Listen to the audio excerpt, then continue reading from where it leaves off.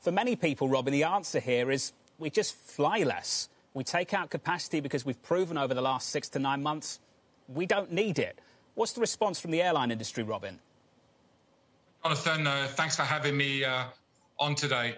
Well, I haven't met many people in the last uh, nine or 10 months who don't want to fly again. So I think, uh, you know, most of us are looking at the uh, pandemic as uh, a reason to avoid flying for the short term, but, but certainly longer term, the need is going to be there. And so the question is, how do we grow in a sustainable way, making sure that our industry uh, can, can, contribute fully uh, in um, uh, navigating uh, the planet through the uh, climate crisis. And I think restricting aviation, making aviation only available to the rich and wealthy, isn't the right way to be thinking about it. What is the right way then, Robin? Well, we have to reduce, uh, you know, we have to reduce our carbon footprint, and um, that's why we made the commitment that we did. It's about the development of sustainable aviation fuels, which I think uh, have huge promise in the industry. Uh, it's uh, more fuel efficient engines, of which we're investing billions of dollars in uh, new airplanes. Uh, we are moving our ground equipment over to uh, electric ground equipment. We've already done that here at our main base of operations in New York. It's about more efficient air traffic control procedures, so we aren't flying airplanes around in circles around airports. And you know, the amount of um, carbon an airplane will emit, emit is much lower at lower altitudes than higher altitudes. And so things like better air traffic control procedures can make a, a real difference. And it's about uh, offsetting uh, where we can't, because it is going to take some time for some of this technology to uh, catch up.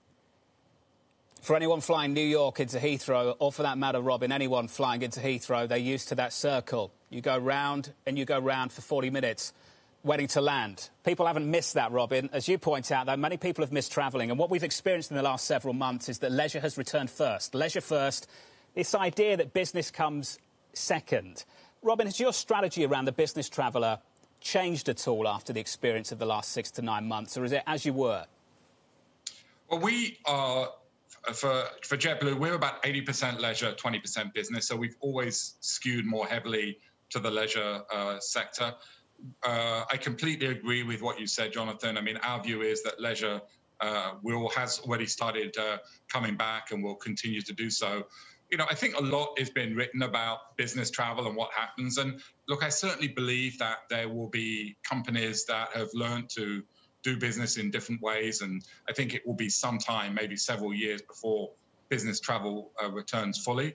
Uh, but we also think there'll be a proportion of business travel that will come back uh, in the next one to two years. There are certain types of industry, whether it's sales, uh, distribution, logistics, where people really do need to travel, and, and those sorts of sectors we think will. Uh, will will will come back. But for us, what we've done is we've pivoted a significant amount of uh, our business travel capacity, and we're flying to new leisure markets. In fact, during this pandemic, uh, we've announced service over 60 new uh, leisure markets, and so I think we've uh, demonstrated that we need to be nimble during a time like this. Do you think you remain nimble, or Robin, does that become a permanent shift? I mean, I should put it out there that I was once the business traveller with you guys in your Mint offering. I'm a Mosaic member, fully signed up. LA, New York, New York, LA, in Mint. It was uh-huh. fantastic, and I enjoyed every single ride. And I put that out there so everybody knows full transparency. Robin, going forward, though, I don't think the boss is going to send me out on as many trips over the next several years. And I wonder whether that skew towards leisure, Robin, is something that, that sticks, just how sticky that is. Well, uh, I think he will be sending you out, Jonathan, because uh, we're also going to be starting flights between uh, New York and London next year. And so uh, hopefully we'll uh, see you on that, even if we don't see so much of you on our LAX flights. But uh, no, look, I, I, I, think there is going to be some shift in uh, business travel. But we also don't fully understand some of the new markets that may be created. So, for example, if we are really going to have a lot more people who are working from home, working remote, that you know companies are okay if they're working in other parts of the country. You know, there's going to be, I'm sure, organizations are still going to want to get people together once or twice a year. So that's going to create uh, new markets in travel that perhaps uh, aren't there today. So I think before we write off business travel, let, let's see what plays out. But what JetBlue is doing is we're continuing to pivot more of our capacity to, to leisure, uh, people vacationing, people visiting friends and family, where we actually think there's pent up demand in 2021. We think that a lot of people have put off trips this year. Uh, they're not going to put off going to see family uh, for much longer, so they're going to travel in 2021, and we need to make sure that we're there to uh, serve them when they do. Have you started to see the cancellations pick up again in December, Robin? We saw a little bit of a pickup uh, ahead of the uh, Thanksgiving holiday, um, and um, you know Thanksgiving was still relatively strong. We still had a, a you know significant number of people uh, flying. I think uh, for several days, U.S. airports were over a million uh, passengers for the first time.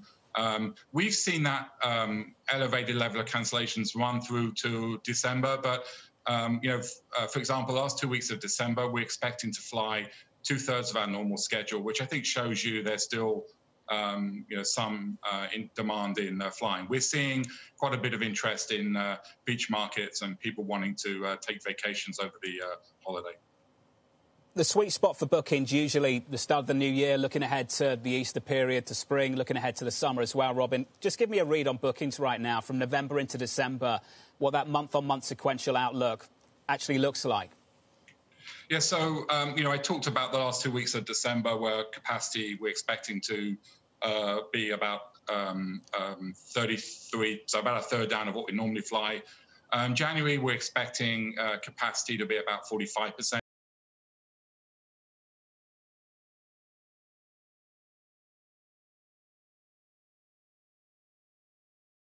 Booking vacations. So our vacations company uh, has actually had seen quite strong demand into the second quarter of next year. And January is normally a very busy period for people booking vacations into the uh, spring and summer. And so we are actually expecting a, a relatively strong uh, January for bookings further into the uh, year. We think for January and February, uh, you know, uh, travel may still um, stay uh, suppressed.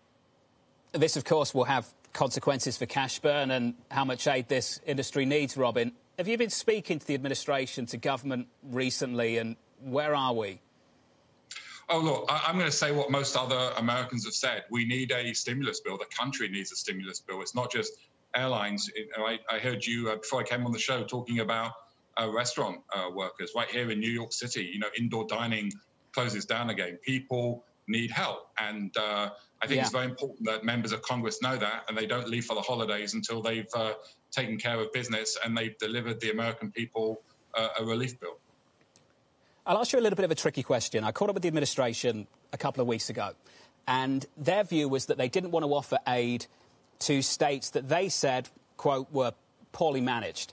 And I always thought that that was somewhat inconsistent because you could apply that thinking to certain parts of the airline industry that maybe they've been poorly managed for not saving for a quote rainy day nobody expected. Robin, with that in mind, what's the argument at the moment? And I ask this with the best of intentions. From your perspective, the argument at the moment this airline industry needs more aid and should get it. Well, the aid for the airline industry since the beginning has been about protecting jobs.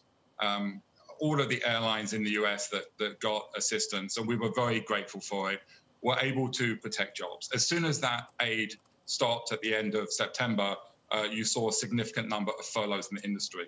Uh, people getting furloughed is creating a lot of uncertainty for them and their families, uh, and they're claiming unemployment benefit and other benefits in, in any case. And so the uh, CARES Act was really about pe- keeping people uh, on the uh, on the payroll. And I think just as we talked about restaurants, talk, talk about other industry sectors, I think the difference now to the beginning of the pandemic, it's much clearer to all of us which particular sectors are the most impacted. The travel sector, whether it's airlines, hotels, restaurants, um, uh, theme parks, uh, contribute significantly to our GDP. They contribute significantly to jobs. And so the need to protect these sectors so that they're there when people want to start flying again next year, uh, I think is really uh, important.